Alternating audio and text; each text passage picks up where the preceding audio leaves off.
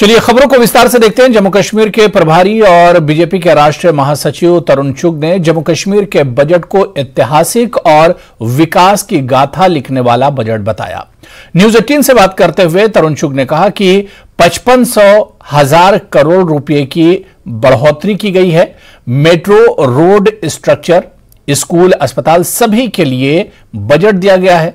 जम्मू कश्मीर की जीडीपी दोगुनी करने का भी अगले पाँच सालों में टारगेट रखा गया है।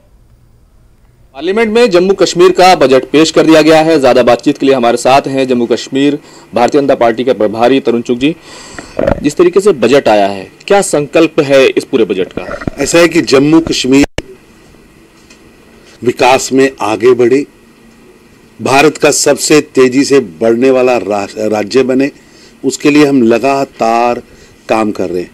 और ये बजट लोकतंत्र को मज़बूत करने वाला, जम्मू कश्मीर के विकास को एक नई दिशा देने वाला, महिला सशक्तिकरण को ध्यान में रखकर बनाया गया बजट है, जिसमें रोज़गार से लेकर सामाजिक समावेश, रेल, रोड और पूरे जम्मू कश्मीर का विकास कैसे हो, मेट्रो प्रोजेक्ट, हाउसिंग, महिला सशक्तिकरण, चिकित्सा इंफ्रास्ट्रक्चर इन सब चीज़ों को ध्यान में रख के किया गया और ये पाँच साल में जीडीपी कैसे दो गुना हो? और जम्मू कश्मीर का सुनहरा काल श्री नरेंद्र मोदी जी के नेतृत्व में वहाँ आए उसके लिए ये बजट आया है। मैं प्रधानमंत्री मोदी जी का धन्यवाद करता हूँ कि उन्होंने पचपन सौ करोड़ रुपया जम्मू कश्मीर के बजट के लिए बढ़ाया है। वहाँ के बच्चे पढ़कर आगे जा सके। नौजवानों के हाथ से पत्थर नहीं हमें कंप्यूटर चाहिए, इसलिए शिक्षा को सामने रखे हुए बजट को आगे बढ़ाया गया है आईआईटीज दिए गए हैं आईआईएम दिए गए हैं, उन पर काम हो रहा है, लोग बच्चे पढ़कर भारत का भविष्य, जम्मू कश्मीर का भविष्य बनाने में लगे हैं। और इसका, इसकी मैं शलाघा करता हूँ कि प्रधानमंत्री मोदी जी ने हमेशा ही जम्मू कश्मीर को आगे लाने का प्रयास किया। के लिए पेश किए गए बजट को बीजेपी की जम्मू कश्मीर इकाई ने ऐतिहासिक करार दिया है। पूर्व उप मुख्यमंत्री और वरिष्ठ नेता कविंदर गुप्ता ने कहा कि बजट में हर क्षेत्र पर विशेष ध्यान दिया गया है।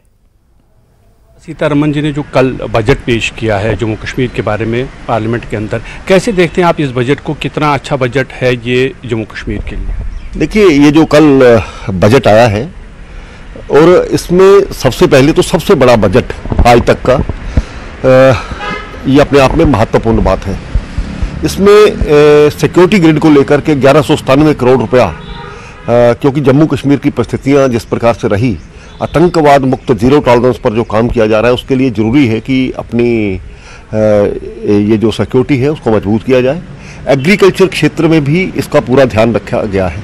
जम्मू कश्मीर में नई इन्वेस्टमेंट्स आए उसके लिए उन्होंने नई जो अपनी इंडस्ट्रियल ज़मीनें हैं उनके लिए एग्रीकल्चर इसके अलावा जीएसटी व्यापारियों के लिए जीएसटी रिम्बर्समेंट का जो है, उसमें भी 500 करोड़ का प्रावधान रखा गया है। नई सिटीज़ बसाने के लिए भी इसको किया गया है। और इस प्रकार से कोई ऐसा क्षेत्र नहीं है, चाहे युवाओं का हो, और टूरिज़्म के क्षेत्र को बहुत ध्यान में रखा गया है, खास करके रिलीजियस जो टूरिज़्म है, उसको डेवलपमेंट डेवलप करने का बहुत बड़ा और आपने ये भी देखा होगा कि इंडस्ट्री ने चैम्बर ऑफ़ कॉमर्स ने और बाकी बहुत से हमारे बिज़नेस दायरे हैं, उन्होंने भी इस बजट को अप्रिशिएट किया है। स्वाभाविक बात है कि इस बार का बजट जम्मू कश्मीर की परिस्थितियों और जम्मू कश्मीर को एक न्यू जम्मू कश्मीर बनाने के लिए उसका विशेष प्रावधान रखा गया है। जो अपोजिशन पार्टीज़ हैं, उनका ये कहना है कि बजट तो बढ़ा दिया गया है, लेकिन महँगाई भी तो बढ़ी है, इसलिए ये जो बजट बढ़ा दिया गया है उससे कोई ज़्यादा फ़र्क नहीं पड़ेगा। देखिए जिन्होंने अपोजिशन करनी है, उन्होंने अपोजिशन ही करनी है।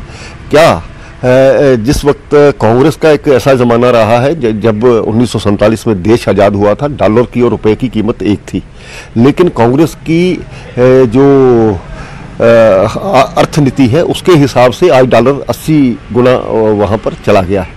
ये कांग्रेस को भी समझना चाहिए, जो बातें करते हैं, समय अनुसार परिस्थितियाँ बदली हैं, पूरे विश्व का प्रदर्शन देख करके जो हालात बने हैं, उसी को देख करके अगर उस वक्त सौ रुपया तनख्वाह होती थी तो आज एक लाख एक लाख रुपया तनख्वाह इस चीज़ को भी समझना होगा।